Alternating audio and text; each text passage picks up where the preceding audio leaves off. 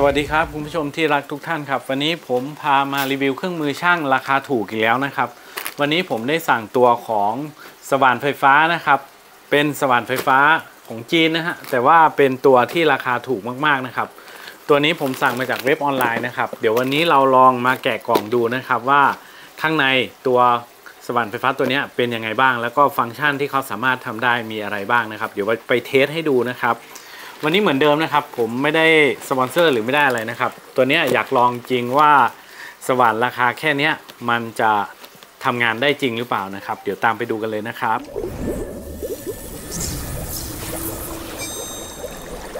ครับนี่ก็คือเจ้าสว่านไฟฟ้าที่ผมบอกนะครับเขาก็จะแพ็คมาแบบนี้นะ ใส่ถุงมานะครับ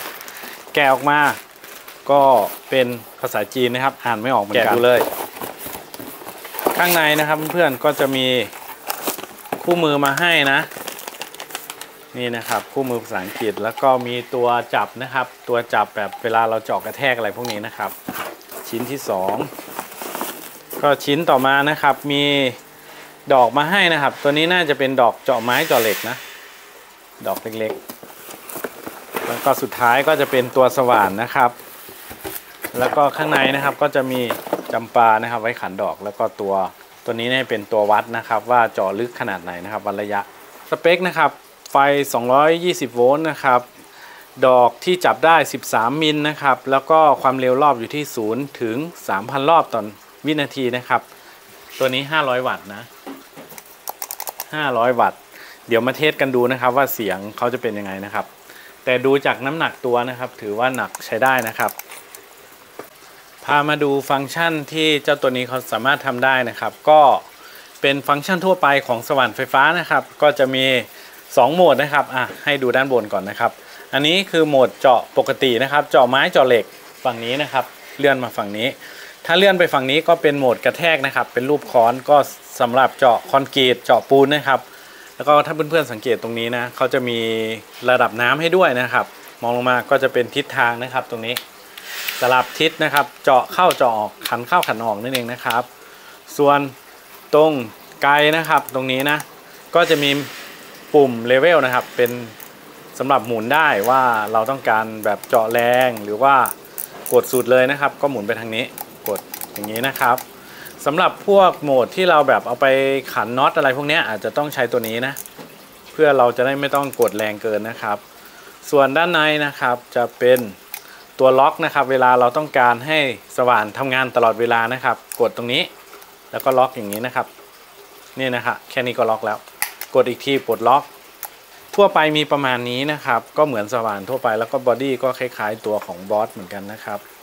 อะต่อไปเดี๋ยวผมจะลองประกอบดูนะครับ เดี๋ยวขออนุญาตถอดถุงออกนะครับอะเดี๋ยวประกอบแขนแขนจับกันก่อนนะครับ มือจับเนาะก็ได้ซ้ายขวาแล้วแต่เรานะครับ ก็เดี๋ยวผมจะประกอบฝั่งนี้แล้วกันนะ ให้เห็นยี่ห้อเขา แล้วก็ล็อกก่อนนะครับ เพื่อเวลาเราไปเจาะกระแทกนะครับ เราจะได้มีแรงเนาะจับได้อย่างถนัดมือ นี่นะครับประกอบมือจับเสร็จเรียบร้อยแน่นนะฮะส่วนช่องนี้นะครับเป็นตัววัดระยะนะว่าเราจะเจาะลึกขนาดไหนนะครับ ที่เขาแถมมาให้ตัวก้านตัวนี้นะครับ วิธีใส่เข้าไปนะครับ เราต้องใส่ให้อ่านตัวเลขออกนะครับ ก็เป็นแบบนี้เนาะดันเข้าไปจากทางด้านหลังนะครับ ดันเข้าไปแบบนี้นะครับ เนี่ยเขาก็จะมีเขี้ยวล็อกด้านล่างนะครับ ก็งานก็ถือว่าโอเคอยู่ ก็จะเริ่มที่ 5 เซนนะครับ ค่าที่เขาอ่านขันให้แน่นเลยนะครับ เดี๋ยวเราจะลองไปเทสเจาะไม้กันก่อนนะครับ เจาะไม้ก่อนครับ เดี๋ยวมาลองฟังเสียงออมอเตอร์สว่านตัวนี้กันหน่อยนะโอ้แรงใช้ได้เลยนะครับ อืม เดี๋ยวผมปรับโหมดก่อนนะครับ อันนี้โหมดกระแทกนะ เดี๋ยวผมปรับโหมดเจาะธรรมดาโอ้แรงแรงแรง เดี๋ยวลองดู เดี๋ยวเราจะเจาะไม้ก่อน โอเคครับเพื่อนๆ ผมเตรียมไม้เรียบร้อยนะครับ อันนี้เป็นไม้เก่านะครับ เดี๋ยวลองเจาะดู ก็ทดสอบไปเลยนะครับ ว่าเขาเจาะไม้โอเคหรือเปล่า อ่าเจาะตรงนี้นะครับ โอ้โหแป๊บเดียวเอง เอาไป DIY สบายมากครับตัวนี้ ให้ดูใกล้ๆนะครับจะได้เห็นดอก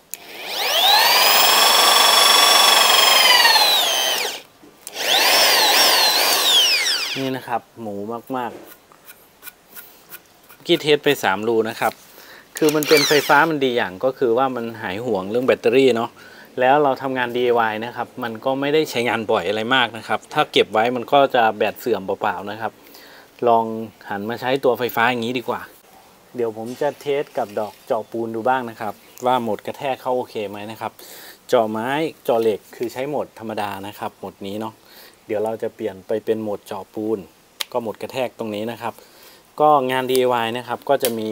แค่นี้ครับมันไม่ได้เยอะมากเนาะก็เดี๋ยวลองดอกนี้แล้วกันเผื่อไปฝังพุกนะครับแขวนอุปกรณ์หรือแขวนอะไรพวกนี้เนาะก็ สามารถทำเองได้เลยนะครับ ติดตั้งเครื่องทำน้ำอุ่น หรืออะไรพวกนี้งานไฟฟ้าก็ได้นะครับเดี๋ยวลองดูนะครับ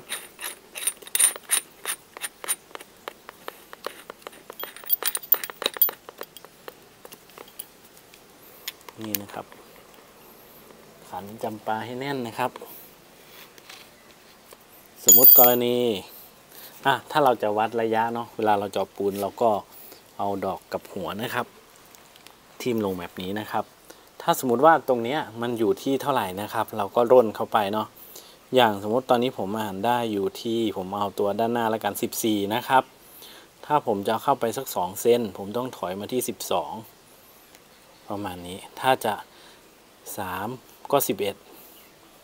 เนี่ยผมจะลองเจาะเข้าไปประมาณ 3 เซนนะครับ เดี๋ยวไปดูกัน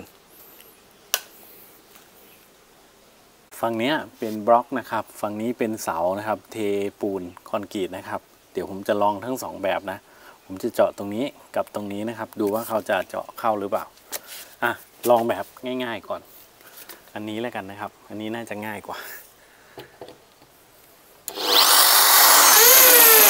โอ้ใช้ได้ครับใช้ได้หมวกกระแทกทำงานแป๊บเดียวเอง นิ่งนะครับ รูค่อนข้างโอเคเลย สุดยอดผ่านผ่าน อันนี้คือรูที่เราเจาะไปเมื่อกี้นะครับ ก็เดี๋ยวผมจะลองเจาะตรงเสาตรงนี้นะร่องนี้คือเสาคอนกรีตเลยนะครับ ว่าเขาจะโอเคบ้างนะครับ ลองดูนะเพื่อนๆโอ้โหแป๊บเดียวเองครับ สุดยอดมาก พอดีผมออกแรงเยอะไปหน่อยนะ มันก็เลยดันทะลุไปเลย ผ่านนะครับ งานเจาะปูนผ่านตัวเนี้ยโอเคเลยนะครับ เจาะเหล็กผมไม่มีดอกนะเพื่อนๆ ก็ถ้ามันเจาะไม้ได้เจาะเหล็กไม่น่าจะติดอะไรนะครับ ก็มันจะใช้รอบที่สูงนะ แต่โหมดกระแทกเนี่ย โอเคผ่านนะครับ ครับเดี๋ยวผมจะลองทดลองเจาะเศษตัวหนอนนะครับ ตัวนี้เป็นคอนกรีตหล่อเลยเนาะก็เดี๋ยวลองดูนะครับว่าจะเจาะได้ดีจริง ๆ หรือเปล่านะครับ เดี๋ยวลองดู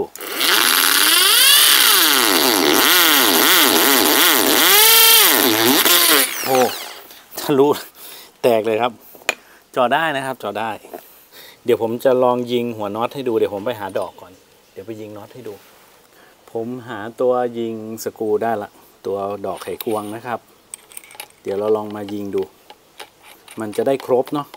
ที่ผมบอกว่ามันตัวเดียวจบนะครับสำหรับติดบ้าน นี่นะ เราได้ดอกมาแล้ว เสร็จแล้วเดี๋ยวผมจะลองยิงสกูนะครับ อย่าลืมปรับโหมดนะเพื่อนๆ โหมดกระแทกไม่ได้นะครับ ต้องโหมดธรรมดาเนาะนี่นะครับ แล้วก็ตัวนี้ลดมานิดนึงนะครับ อย่าให้มันแรงมากนะ ผมปรับลดลงนิดนึงอะตอนนี้ดอกแน่นนะครับ ทดสอบโอเค เสียงมันจะเหมือนกับสว่านตัวเล็กๆนะครับ ที่ผมมีอีกตัวของฮิตาชินะครับ ตัวเล็กผมซื้อมือสองมา ราคาพอกันเลย แต่นั้นเจาะปูนไม่ได้อะเดี๋ยวเราลองดูนะครับ เดี๋ยวผมจะเจาะตรงนี้นะ อันนี้ถอนนะครับเจาะเข้า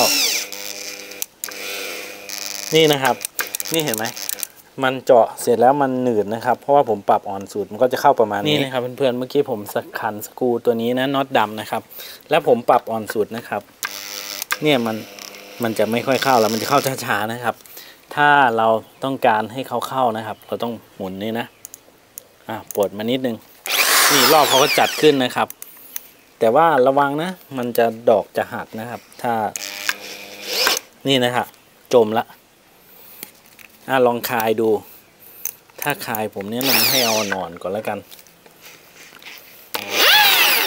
นี่นะครับ เรียบร้อย ใช้ได้แน่นอน ตัวเดียวยิงฝ้าก็ได้ มันไม่ได้หนักมากอะเดี๋ยวผมลองเอาสกูแบบตัวอ้วนขึ้นนะครับ ตัวขาวโห มิดเลย เอาออก มันต้องกดใหน่เรียบร้อย จบเลยตัวเดียว หลังจากใช้งานเสร็จนะครับ เราก็ทำความสะอาดนิดนึงนะครับ เพื่อให้เขาสามารถใช้งานได้ไปนานๆนะครับ ผมก็จะทำแบบนี้ทุกครั้งนะครับ ตัวของดอกสว่านเอง แล้วก็ตัวเครื่องมือช่างผมทุกชิ้นนะครับ ก่อนเก็บลงกล่องหรืออะไรพวกนี้เราก็เช็ดทำความสะอาดนิดนึงนะครับ เขาจะได้อยู่กับเราไปนานๆเนาะ เพราะว่าเราไม่ใช่ช่างมืออาชีพนะครับ เราก็ DIY ไปเรื่อยๆ เน้นใช้นานๆดีกว่านะครับ ก็แนะนำนะครับเพื่อนๆ ผมมาป้ายยาหรือเปล่าไม่รู้นะ แต่ผมแนะนำนะครับว่าให้ซื้อเครื่องมือช่างติดบ้านไว้เถอะครับ ไม่ต้องแพงก็ได้แบบเจ้าตัวเนี้ยก็ 300 กว่าบาทอย่างเงี้ยเราก็ไปซื้ออย่างอื่นยังแพงกว่านี้เนาะไปจ้างช่างเนี่ยโอ้โหแพง ยกเว้นให้ผมไปทำนะครับวันนั้นผมไปติดตัวอะไรนะ